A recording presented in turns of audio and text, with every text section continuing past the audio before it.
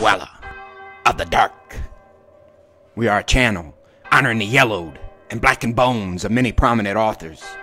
We will be digging up several obscure, strange, and forgotten authors who influenced many of the great horror, science fiction, and fantasy writers today. Comment below if you like.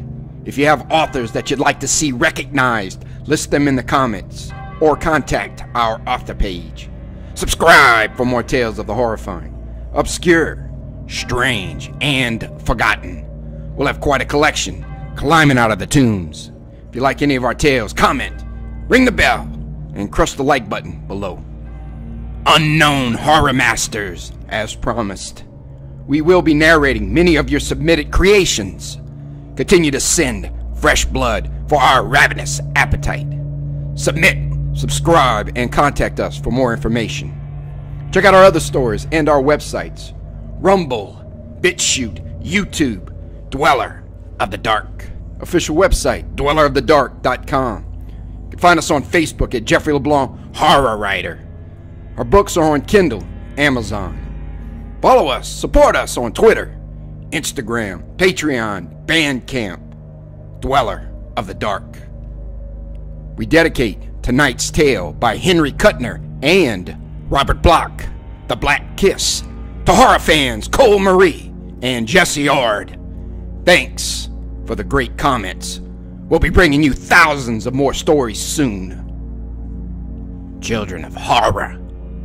Graveyard rats squeal in ecstasy as a man is buried alive. Norman Bates still has mother troubles.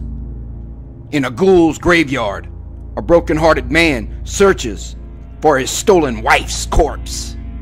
While, in another tale, an unsuspecting couple satisfy the appetite of the hungry house. Finally, a bewitching secret lies deep beneath a man's ancient Salem home. As we resurrect the rat gnawed and vampiric corpses of Henry Kuttner and Robert Bloch. Henry Kuttner and Robert Bloch collaborate on tonight's tale. Both were masters of horror, science fiction, mystery, and fantasy. Both writers have influenced and inspired so many great writers. These include H.P. Lovecraft, Stephen King, C.L. Moore, Anne Rice, Richard Matheson, Peter Straub, Ray Bradbury, and many more. Tonight, we bring you the terrifying, tragic sea tale, The Black Kiss. First published in the June 1937 issue of Weird Tales, this slithering sea serpent tale brings a deep, slimy bite. Our story focuses on artist Graham Dean and his troubling dreams of the sea. As stated in Weird Tales, two popular writers of weird fiction join forces to produce one of the eeriest sea stories ever written. A story of the thing that swam in the black waters off California and called itself Morella Godolfo.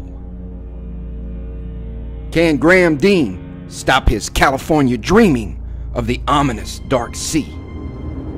Or will he fall prey to the black kiss of the deadly dream weaver, Morella Godolfo? The Black Kiss by Robert Bloch and Henry Kuttner. They rise in green robes, roaring from the green hells of the sea, where fallen skies and evil hues and eyeless creatures be. Chesterton, Lepanto. 1. The Thing in the Waters.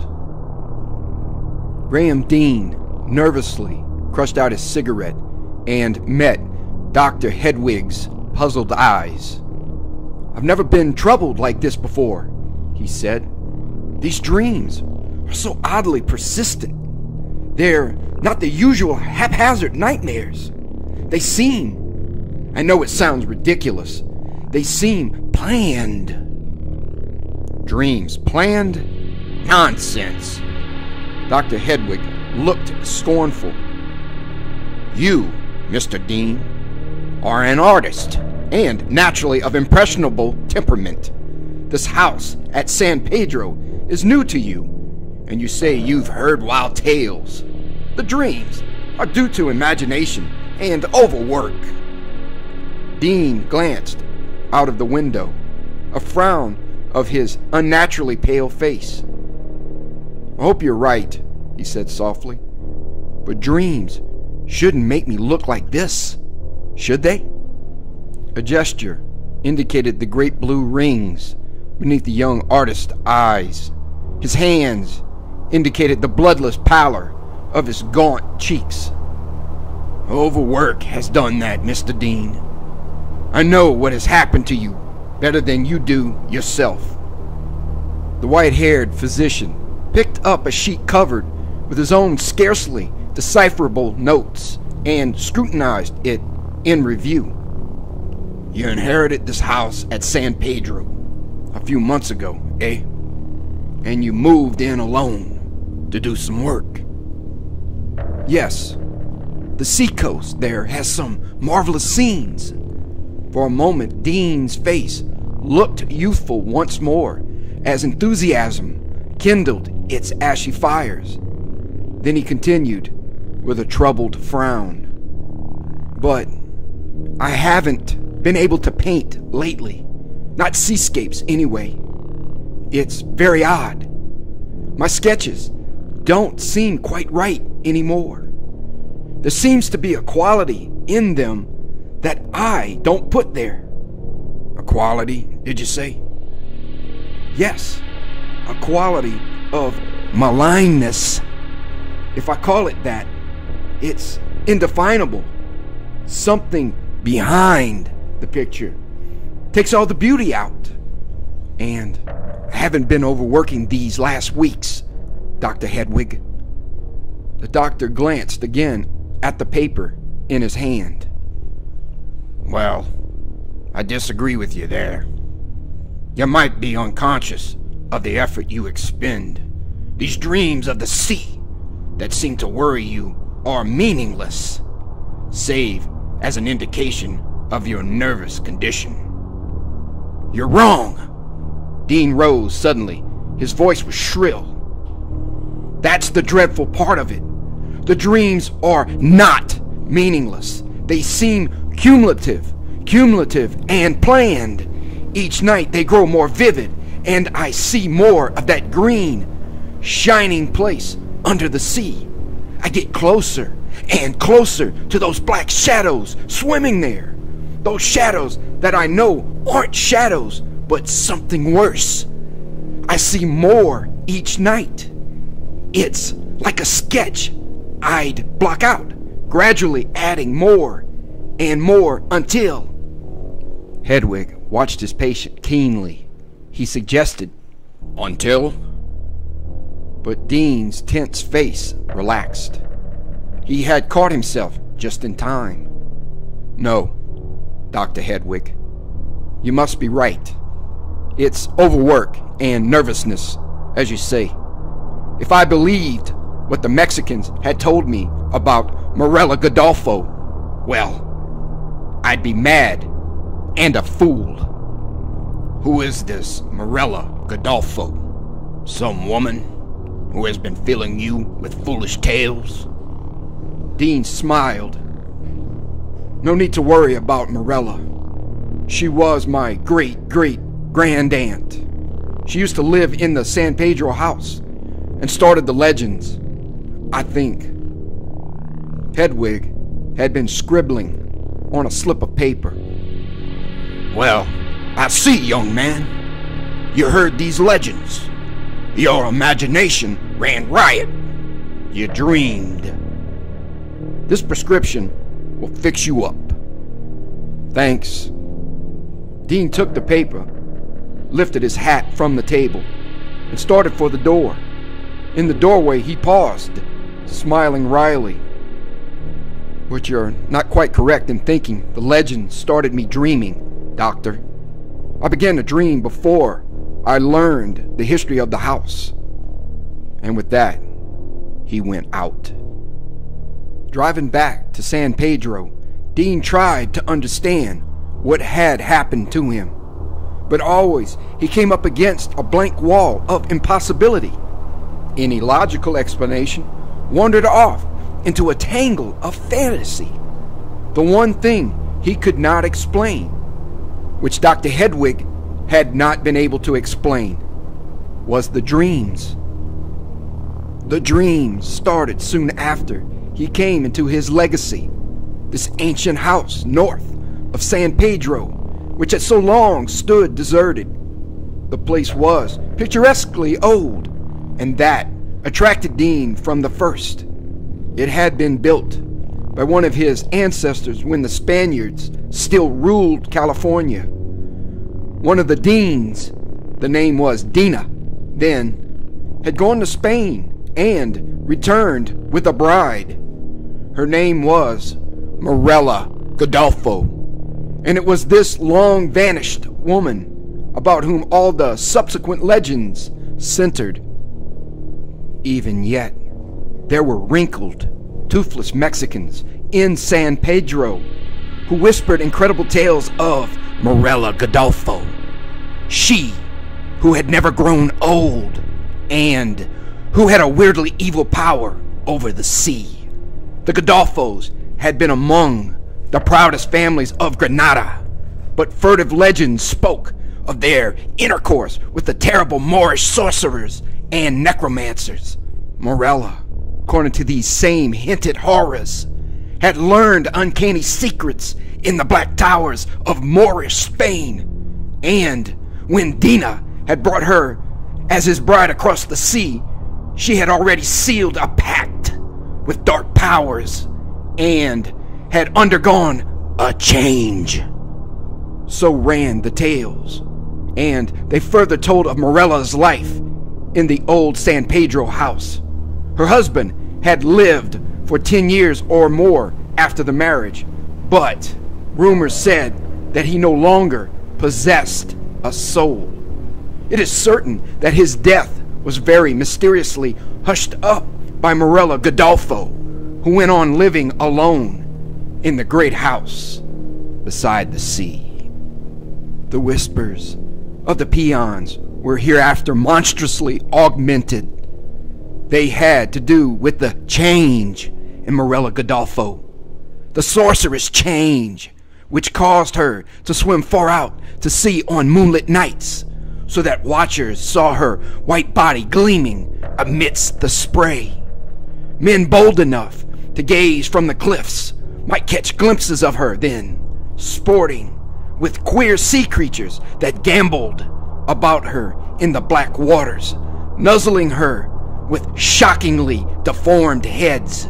These creatures were not seals or any known form of submarine life. It was averred, although sometimes bursts of chuckling, gobbling laughter could be heard.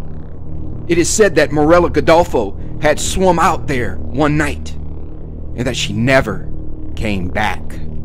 But thereafter the laughter was louder from afar, and the sporting amidst the black rocks continued. So that the tales of the early peons had been nourished down to the present day. Such were the legends known to Dean. The facts were sparse and inconclusive. The old house had fallen into decrepitude and was only occasionally rented through the years. These rentals had been as short as they were infrequent. There was nothing definitely wrong with the house between White's Point and Point Fermin, but those who had lived there said that the crashing of the surf sounded subtly different when heard through windows that overlooked the sea. And, two, they dreamed unpleasantly. Sometimes the occasional tenants had mentioned with peculiar horror the moonlit nights when the sea became altogether too clearly visible. At any rate, occupants often vacated the house hastily. Dean had moved in immediately after inheriting because he had thought the place ideal for painting the scenes he loved. He had learned the legend and the facts behind it later, and by this time his dreams had started. At first, they had been conventional enough, though oddly, all centered about the sea, which he so loved. But it was not the sea he loved, that he knew in sleep. The Gorgons lived in his dreams. Scylla writhed hideously across dark and surging waters, where harpies flew, screaming. Weird creatures crawled sluggishly up from the black, inky depths where eyeless, bloated sea beasts dwelt. Gigantic and terrible leviathans leapt and plunged, while monstrous serpents squirmed a strange obeisance to a mocking moon. Foul and hidden horrors of the sea's depths engulfed him in sleep. This was bad enough, but it was only a prelude. The dreams began to change. It was almost as though the first few formed a definite setting for the greater terrors to come. From the mythic images of old sea gods, another vision emerged. It was inchoate at first, taking definite form and meaning very slowly over a period of several weeks. And it was this dream which Dean now feared. It had occurred generally just before he awoke. A vision of green, translucent light in which dark shadows swam slowly. Night after night, the limpid emerald glow grew brighter, and the shadows twisted into a more visible horror. These were never clearly seen, although their amorphous heads held a strangely repellent, recognizable quality for Dean. Presently, in this dream of his, the shadow creatures would move aside as though to permit the passage of another. Swimming into the green haze would come a coiling shape. Whether similar to the rest or not, Dean could not tell, for his dream always ended there. The approach of this last shape always caused him to awake in a nightmare paroxysm of terror.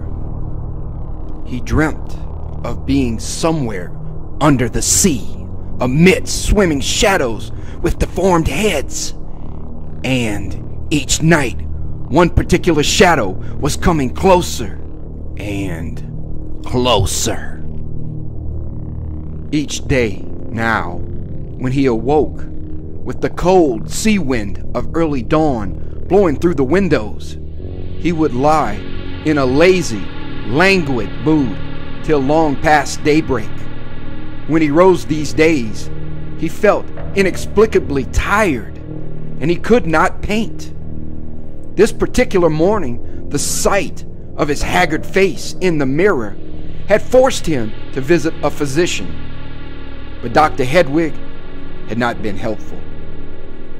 Nevertheless, Dean filled the prescription on the way home. A swallow of the bitter, brownish tonic strengthened him somewhat, but as he parked his car, the feeling of depression settled down on him again. He walked up to the house, still puzzled and strangely afraid. Under the door was the telegram. Dean read it with a puzzled frown. Just learned you are living in San Pedro House. Stop. Vitally important. You vacate immediately. Stop. Show this cable to Dr. Makoto Yamada, 17 Bueno Street, San Pedro. Stop. Am returning via airplane. Stop. See Yamada today. Michael Lay. Dean read the message again, and a flash of remembrance came to him. Michael Lay was his uncle, but he had not seen the man for years. Lay had been a puzzle to the family. He was an occultist and spent most of his time delving in far corners of the earth. Occasionally, he dropped from sight for long periods of time. The cable Dean held was sent from Calcutta, and he supposed that Lay had recently emerged from some spot in the interior of India to learn of Dean's inheritance. Dean searched his mind. He recalled now that there had been some family quarrel about this very house years ago. The details were no longer clear, but he remembered that Lay had demanded the San Pedro house be razed. Lay had given no sane reasons, and when the request was refused, he had dropped out of sight for a time. And now came this inexplicable cablegram. Dean was tired from his long drive, and the unsatisfactory interview with the doctor had irritated him more than he had realized. Nor was he in the mood to follow his uncle's cabled request and undertake the long journey to Buena Street, which was miles away. The drowsiness which he felt, however, was normal, healthy exhaustion, unlike the languor of recent weeks. The tonic he had taken was of some value, after all. He dropped into his favorite chair by the window that overlooked the sea, rousing himself to watch the flaming colors of the sunset. Presently, the sun dropped below the horizon, and gray dusk crept in. Stars appeared, and far to the north, he could see the dim lights of the gambling ships off Venice. The mountains shut off his view of San Pedro, but a diffused pale glow in that direction told him that the New Barbary was wakening into roaring, brawling life. Slowly, the face of the Pacific brightened. A full moon was rising above the San Pedro hills. For a long time, Dean sat quietly by the window, his pipe forgotten in his hand, staring down at the slow swells of the ocean, which seemed to pulse with a mighty and alien life. Gradually, drowsiness crept up and overwhelmed him just before he dropped into the abyss of sleep there flashed into his mind Da Vinci saying, The two most wonderful things in the world are a woman's smile and the motion of mighty waters. He dreamed, and this time it was a different dream. At first, only blackness and a roaring and thundering as of angry seas and oddly mingled with this was the hazy thought of a woman's smile and a woman's lips. Pouting lips, softly alluring. But strangely, the lips were not red. No!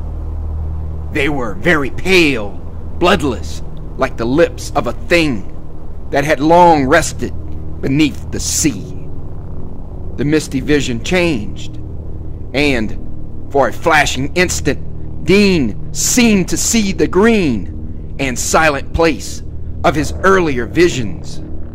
The shadowy black shapes were moving more quickly behind the veil, but this picture was of but a second's duration. It flashed out and vanished, and Dean was standing alone on a beach a beach he recognized in his dream the sandy cove beneath the house.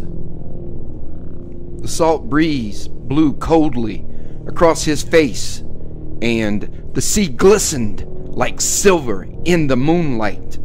A faint splash told of a sea thing that broke the surface of the waters.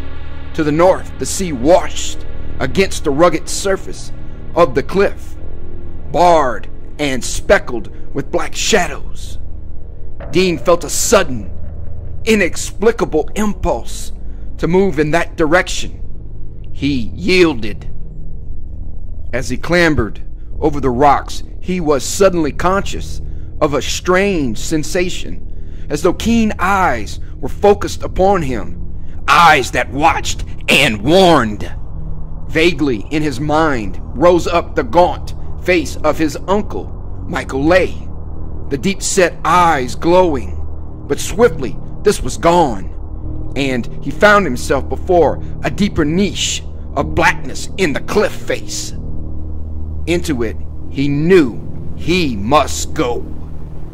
He squeezed himself between two jutting points of rock and found himself in utter, dismal darkness.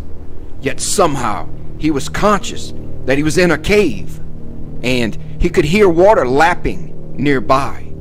All about him was a musty salt odor of sea decay, the fetid smell of sunless ocean caves, and holds of ancient ships. He stepped forward and, as the floor shelved sharply downward, stumbled and fell headlong into icy, shallow water. He felt, rather than saw, a flicker of swift movement, and then abruptly, hot lips were pressed against his. Human lips, Dean thought at first. He lay on his side in the chill water, his lips against those responsive ones. He could see nothing, for all was lost in the blackness of the cave. The unearthly lure of those invisible lips thrilled through him. He responded to them, pressed them fiercely, gave them what they were avidly seeking the unseen waters crawled against the rocks, whispering warning. And in that kiss, strangeness flooded him. He felt a shock and a tingling go through him, and then a thrill of sudden ecstasy, and swift on its heels came horror. Black, loathsome foulness seemed to wash his brain indescribable but fearfully real, making him shudder with nausea. It was as though unutterable evil were pouring into his body, his mind, his very soul, through the blasphemous kiss on his lips. He felt loathsome, contaminated. He fell back. He sprang to his feet. And Dean saw, for the first time, the ghastly thing he had kissed as the sinking moon sent a pale shaft of radiance creeping through the cave mouth.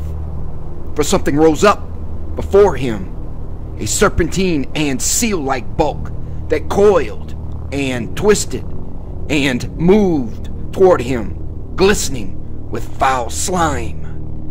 And Dean screamed and turned to flee with nightmare fear tearing at his brain, hearing behind him a quiet splashing as though some bulky creature had slid back into the water. 2. A visit from Dr. Yamada. He awoke.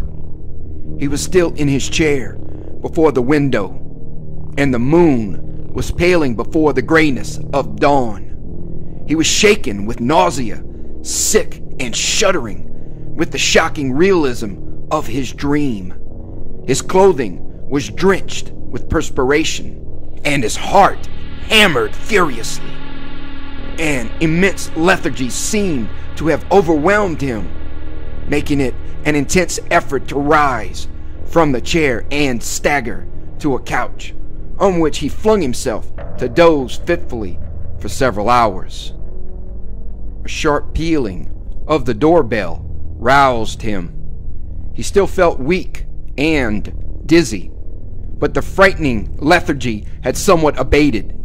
When Dean opened the door, a Japanese standing on the porch began a bobbing little bow, a gesture that was abruptly arrested as the sharp black eyes focused on Dean's face. A little hiss of indrawn breath came from the visitor. Dean said irritably, Well, do you want to see me? The other was still staring, his thin face sallow beneath the stiff thatch of gray hair. He was a small, slender man, with his face covered with a fine spun web of wrinkles. After a pause, he said, I am Dr. Yamada. Dean frowned, puzzled. Abruptly, he remembered his uncle's cable of the day before. An odd, unreasonable irritation began to mount within him, and he said, more brusquely than he had intended, This isn't a professional call, I hope. I've already.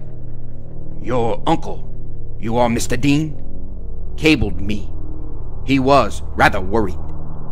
Dr. Yamada glanced around almost furtively. Dean felt distaste stir within him, and his irritation increased. My uncle is rather eccentric, I'm afraid. There's nothing for him to worry about. I'm sorry you had your trip for nothing. Dr. Yamada did not seem to take offense at Dean's attitude. Rather, a strange expression of sympathy showed for a moment on his small face. Do you mind if I come in? He asked, and moved forward confidently.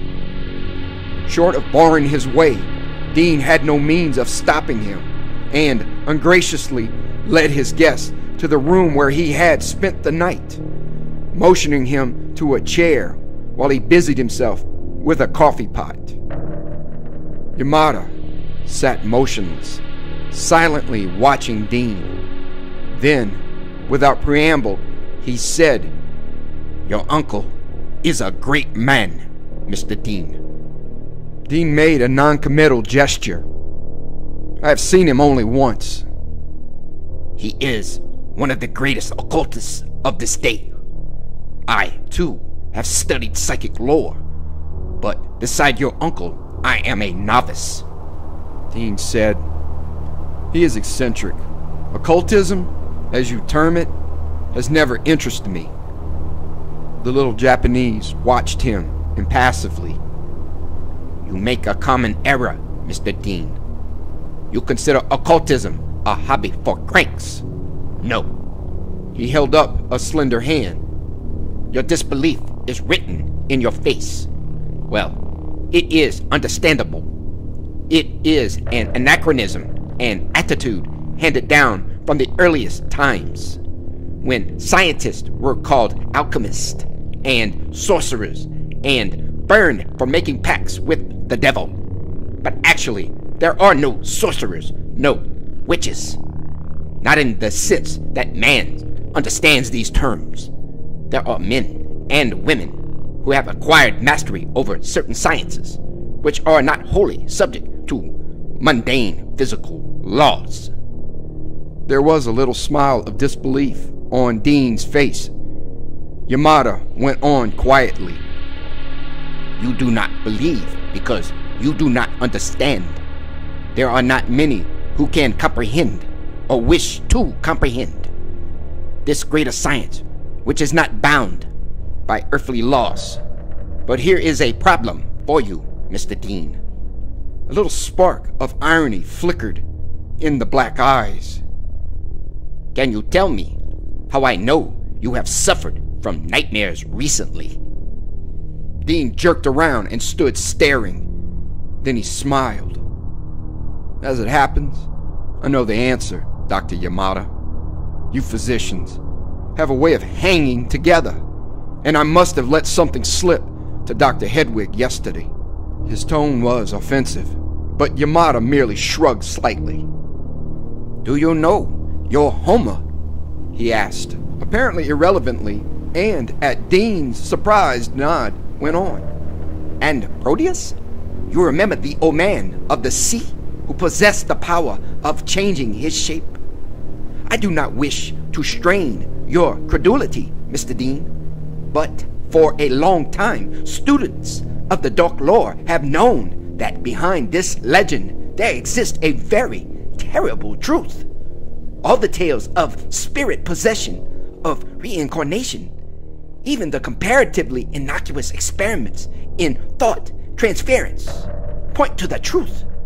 Why do you suppose folklore abounds with tales of men who have been able to change themselves into beasts, werewolves, hyenas, tigers, the sealmen of the Eskimos?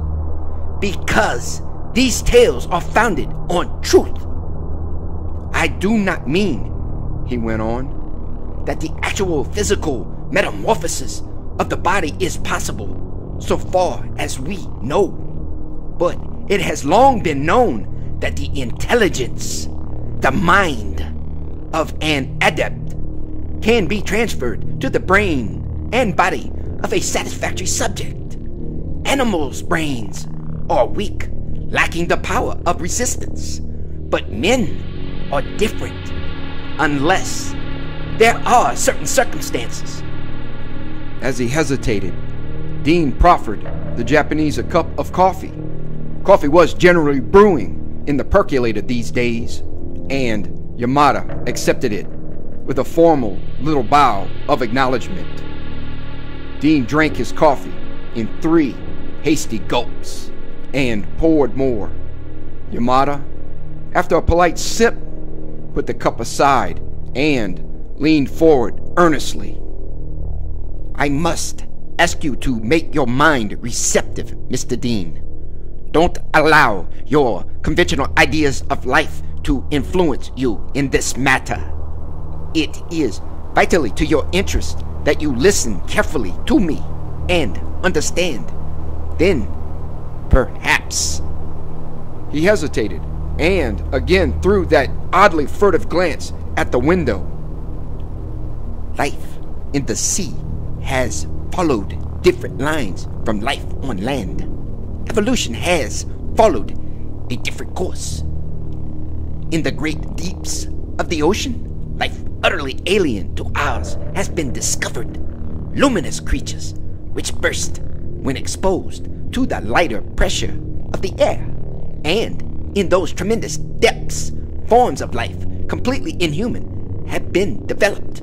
Life forms that the uninitiated mind may think impossible. In Japan, an island country, we have known of these sea dwellers for generations. Your English writer, Arthur Machen, has told a deep truth in his statement that man, afraid of these strange beings, has attributed to them beautiful or pleasantly grotesque forms, which in reality they do not possess. Thus we have the Nereids and Oceanids, but nevertheless man could not fully disguise the true foulness of these creatures. Therefore, there are legends of the Gorgons, of Scylla, and the Harpies, and, significantly, of the mermaids and their soullessness. No doubt, you know the mermaid tale. How they long to steal the soul of a man and draw it out by means of their kiss. Dean was at the window now, his back to the Japanese. As Yamada paused, he said tonelessly, Go on. I have reason to believe, Yamada went on very quietly, that Morella Godolfo, the woman from Alhambra, was not fully human. She left no issue. These things never have children. They cannot. What do you mean? Dean had turned and was facing the Japanese, his face a ghastly white, the shadows beneath his eyes hideously livid. He repeated harshly, What do you mean? You can't frighten me with your tales. If that's what you're trying to do, you, my uncle, wants me out of this house for some reason of his own. You're taking this means of getting me out, aren't you? Eh? You must leave this house. Yamada said. Your uncle is coming, but he may not be in time. Listen to me. These creatures, the sea dwellers, envy man, sunlight, and warm fires, and the fields of earth, things which the sea dwellers cannot normally possess. These things and love. You remember what I said about mind transference, the possession of a brain by an alien intelligence. That is the only way these things can attain that which they desire and know the love of man or woman. Sometimes, not very often, one of these creatures succeeds in possessing itself of a human body. They watch always. When there is a wreck, they go there like vultures to a feast. They can swim phenomenally fast. When a man is drowning, the defenses of his mind are down, and sometimes the sea dwellers can thus acquire a human body. There have been tales of men saved from wrecks who ever after were oddly changed. Morella Godolfo was one of these creatures. The Godolfos knew much of the dark lore, but used it for evil purposes, the so-called black magic. And it was, I think, through this that Sea Dweller gained power to usurp the brain and body of the woman. A transference took place. The mind of the Sea Dweller took possession of Morella Godolfo's body, and the intelligence of the original Morella was forced into the terrible form of that creature of the abyss. In time, the human body of the woman died, and the usurping mind returned to its original shell.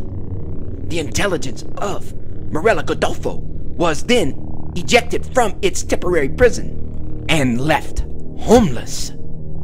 That is true death. Dean shook his head slowly, as though in denial, but did not speak. And, inexorably, Yamada kept on. For years, generations, since then she has dwelt in the sea, waiting. Her power is strongest here, where she once lived. But, as I told you, only under unusual circumstances can this transference take place. The tenants of this house might be troubled with dreams, but that would be all. The evil being had no power to steal their bodies. Your uncle knew that, or he would have insisted that the place be immediately destroyed. He did not foresee that you would ever live here. The little Japanese bent forward, and his eyes were twin points of black light. You do not need to tell me what you have undergone in the past month. I know. The Sea Dweller has power over you. For one thing, there are bonds of blood, even though you are not directly descended from her. And your love for the ocean, your uncle spoke of that. You live here alone with your paintings and your imaginative fancies. You see no one else. You are an ideal victim, and it was easy for that sea horror to become in rapport with you. Even now, you show the stigmata. Dean was silent, his face a pale shadow amidst the darker ones in the corners of the room. What was the man trying to tell him? What were these hints leading up to? Remember what I have said. Dr. Yamada's voice was fanatically earnest. That creature wants you for your youth, your soul. She has lured you in sleep with visions of Poseidonis, the twilight grottos in the deep. She has sent you beguiling visions at first to hide what she was doing. She has drained your life forces, weakened your resistance, waiting until she is strong enough to take possession of your brain. I have told you what she wants, what all these hybrid horrors raven for. She will reveal herself to you in time, and when her will is strong upon you in slumber, you will do her bidding. She will take you down into the deep and show you the kraken fouled gulfs where these things bide. You will go willingly, and that will be your doom. She may lure you to their feast there, the feast they hold upon the drowned things they find floating from wrecked ships. And you will live such madness in your sleep because she rules you. And then, then, when you have become weak enough, she will have her desire. The sea thing will usurp your body and walk once more on earth.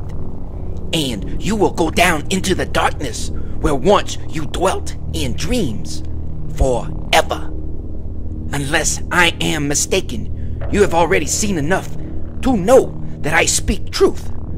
I think that this terrible moment is not so far off, and I warn you that alone you cannot hope to resist the evil. Only with the aid of your uncle and me. Dr. Yamada stood up. He moved forward and confronted the dazed youth face to face. In a low voice, he asked, In your dreams, has the thing kissed you? For a heartbeat, there was utter silence. Dean opened his mouth to speak, and then a curious little warning note seemed to sound in his brain. It rose like the quiet roaring of a conch shell, and a vague nausea assailed him. Almost without volition, he heard himself saying, No. Dimly, as though from an incredibly far distance, he heard Yamada suck in his breath, as if surprised. Then the Japanese said, That is good. Very good. Now listen. Your uncle will be here soon. He has chartered a special plane. Will you be my guest until he arrives? The room seemed to darken before Dean's eyes. The form of the Japanese was receding, dwindling. Through the window, the surf sound came crashing, and it rolled on in waves through Dean's brain. In its thunder, a thin, insistent whispering penetrated. Accept, It murmured, accept. and Dean heard his own voice accept Yamada's invitation. He seemed incapable of coherent thought. That last dream haunted him. And now, Dr. Yamada's disturbing story. He was ill. That was it. Very ill. He wanted very much to sleep now. A flood of darkness seemed to wash up and engulf him. Gratefully, he allowed it to sweep through his tired head. Nothing existed but the dark and a restless lapping of unquiet waters. Yet he seemed to know, in an odd way, that he was still, some outer part of him, conscious. He strangely realized that he and Dr. Yamada had left the house, were entering a car, and driving a long way. He was with that strange, external other self, talking casually to the doctor, entering his house in San Pedro, drinking, eating, and all the while his soul, his real being, was buried in waves of blackness. Finally, a bed. From below, the surf seemed to blend into the blackness that engulfed his brain. It spoke to him now as he rose stealthily and clambered out of the window. The fall jarred his outer self considerably, but he was on the ground outside without injury. He kept in the shadows as he crept away down to the beach. The black, hungry shadows that were like the darkness surging through his soul. Three. Three dreadful hours. With a shock, he was himself once more, completely. The cold water had done it. The water in which he found himself swimming. He was in the ocean, borne on waves as silver as the lightning that occasionally flashed overhead. He heard thunder, felt the sting of rain. Without wondering about the sudden transition, he swam on, as though fully aware of some planned destination.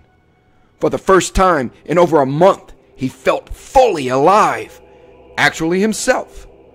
There was a surge of wild elation in him that defied the facts.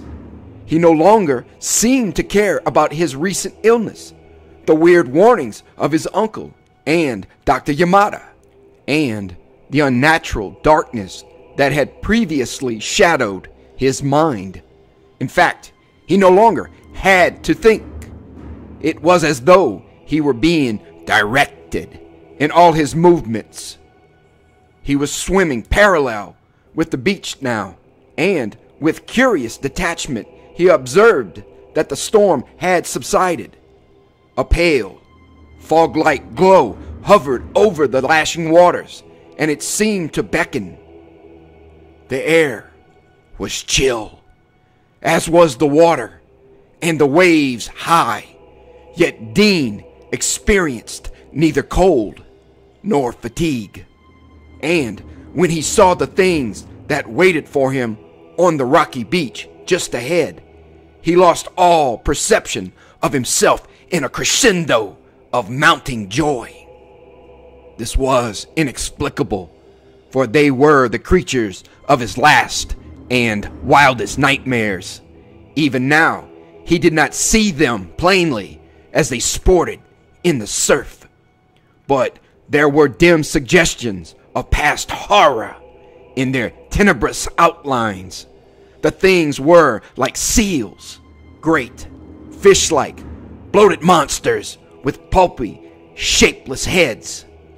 These heads rested on columnar necks that undulated with serpentine ease, and he observed, without any sensation other than curious familiarity, that the heads and bodies of the creatures were a sea bleached white. Soon he was swimming in among them, swimming with peculiar and disturbing ease. Inwardly, he marveled, with a touch of his former feeling, that he was not now horrified by the sea beast in the least. Instead, it was almost with a feeling of kinship that he listened to their strange low gruntings and cackles, listened and understood. He knew what they were saying, and he was not amazed. He was not frightened by what he heard, though the words would have sent abysmal horror through his soul in the previous dreams. He knew where they were going and what they meant to do when the entire group swam out into the water once more. Yet, he did not fear. Instead, he felt a strange hunger at the thought of what was to come, a hunger that impelled him to take the lead as the things with undulant swiftness glided through the inky waters to the north. They swam with incredible speed, yet it was hours before a seacoast loomed up through the murk, lit by a blinding flare of light from offshore. Twilight deepened to true darkness over the water, but the offshore light burned brightly. It seemed to come from a huge wreck in the waves just off the coast. A great hulk floating on the waters like a crumpled beast. There were boats gathered around it, and floating flares of light that revealed the scene. As though by instinct, Dean, with the pack behind him, headed for the spot. Swiftly and silently they sped, their slimy heads blurred in the shadows to which they clung as they circled the boats and swam in toward the great crumpled shape. Now it was looming above him, and he could see arms flailing desperately as man after man sank below the surface. The colossal bulk from which they leaped was a wreck of twisted girders in which he could trace the warped outline of a vaguely familiar shape. And now, with curious disinterest, he swam lazily about, avoiding the lights bobbing over the water as he watched the actions of his companions. They were hunting their prey. Leering muzzles gaped for the drowning men, and lean talons raked bodies from the darkness. Whenever a man was glimpsed in shadows not yet invaded by rescue boats, one of the sea things craftily snared his victim. In a little while, they turned and slowly swam away. But now many of the creatures clutched a grisly trophy at their squamous breast. The pale white limbs of drowning men trailed in the water as they were dragged off into the darkness by their captors. To the accompaniment of low, carrion laughter, the beast swam away, back down the coast. Dean swam with the rest. His mind was again a blur of confusion. He knew what that thing in the water was, and yet he could not name it. He had watched those hateful horrors snare doomed men and drag them off to the deep. Yet he had not intervened. What was wrong?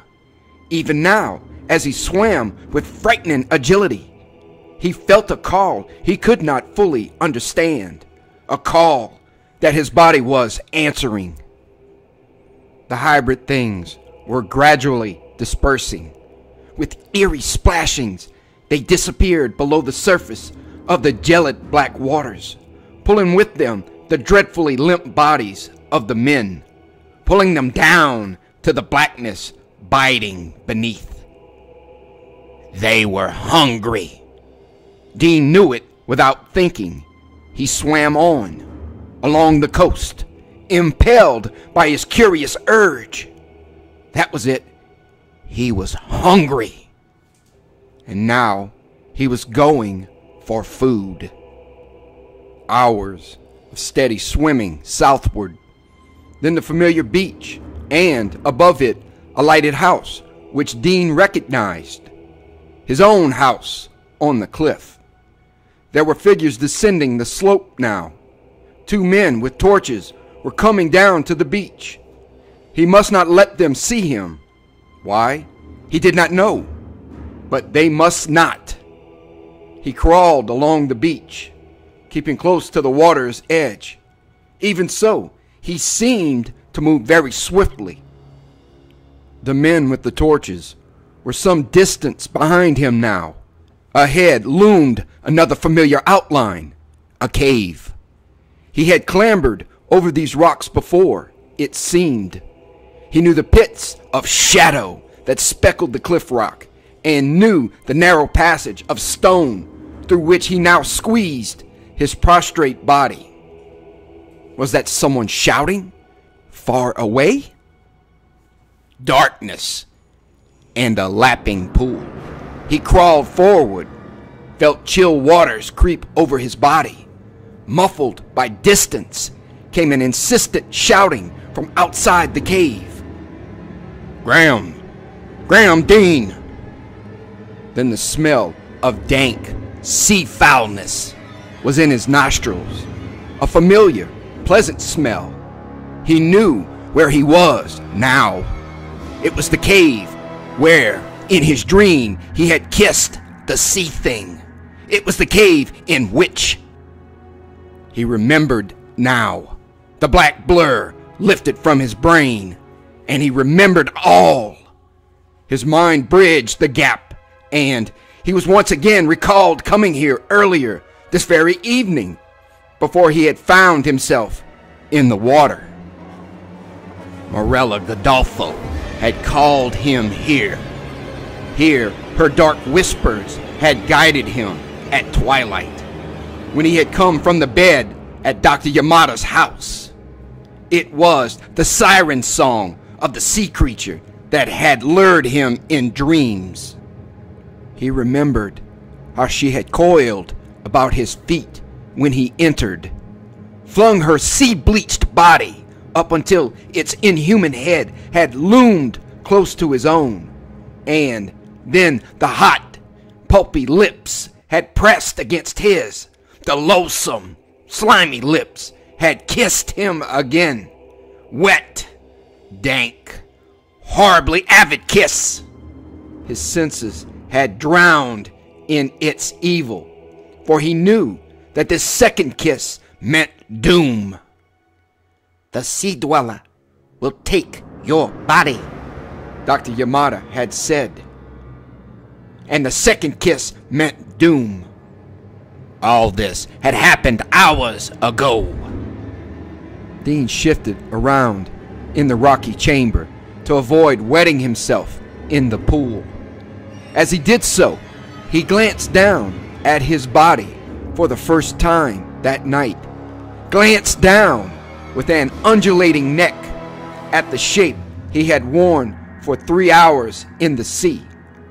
He saw the fish like scales, the scabrous whiteness of the slimy skin, saw the veined gills.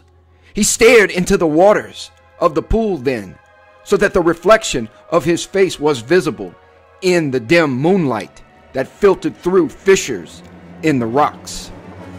He saw all. His head rested on the long, reptilian neck. It was an anthropoid head with flat contours that were monstrously inhuman. The eyes were white and protuberant. They bulged with the glassy stare of a drowning thing. There was no nose, and the center of the face was covered with a tangle of wormy blue feelers. The mouth was worst of all. Dean saw pale white lips in a dead face, human lips. Lips that had kissed his own. And now, they were his own. He was in the body of the evil sea thing. The evil sea thing that had once harbored the soul of Morella Godolfo. At that moment, Dean would gladly have welcomed death, for the stark, blasphemous horror of his discovery was too much to bear. He knew about his dreams now, and the legends. He had learned the truth and paid a hideous price. He recalled vividly how he had recovered consciousness in the water and swum out to meet those others. He recalled the great black hulk from which drowning men had been taken in boats, the shattered wreck on the water. What was it Yamada had told him? When there is a wreck, they go there like vultures to a feast. And now, at last, he remembered what had eluded him that night, what that familiar shape on the waters had been. It was a crashed Zeppelin. He had gone swimming into the wreckage with those things, and they had taken men. Three hours. God! Dean wanted very much to die. He was in the sea body of Morella Godolfo, and it was too evil for further life. Morella Godolfo! Where was she? And his own body, the shape of Graham Dean. A rustling in the shadowy cavern behind him proclaimed the answer. Graham Dean saw himself in the moonlight, saw his body, line for line, hunching furtively past the pool in an attempt to creep away unobserved. Dean's flippered fins moved swiftly. His own body turned. It was ghastly for Dean to see himself reflected where no mirror existed. Ghastlier still to see that in his face there no longer were his eyes. The sly, mocking stare of the sea creature peered out at him from behind their fleshy mask, and they were ancient evil. The pseudo human snarled at him and tried to dodge off into the darkness. Dean followed on all fours. He knew what he must do. That sea thing, Morella, she had taken his body during that last black kiss, just as he had been forced into hers. But she had not yet recovered enough to go out into the world. That was why he had found her still in the cave.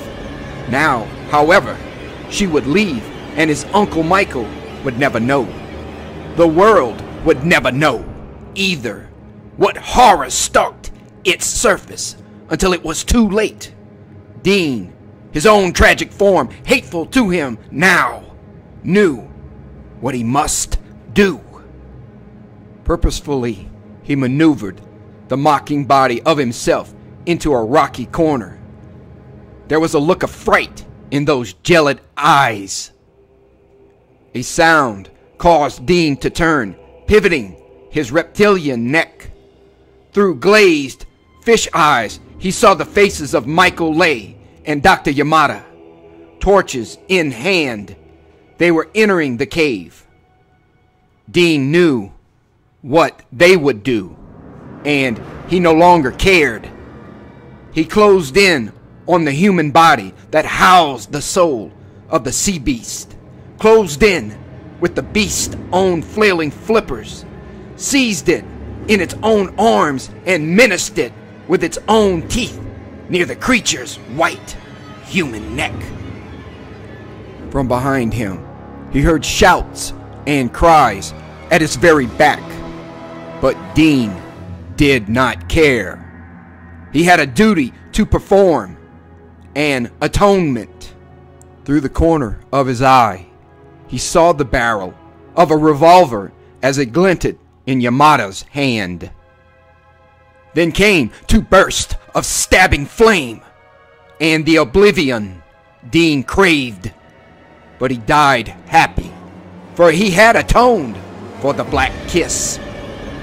Even as he sank into death, Graham Dean had bitten with animal fangs into his own throat, and his heart was filled with peace as, dying, he saw himself die.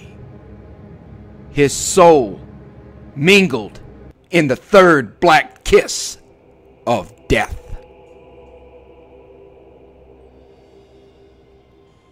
Thank you for listening. Have a great night.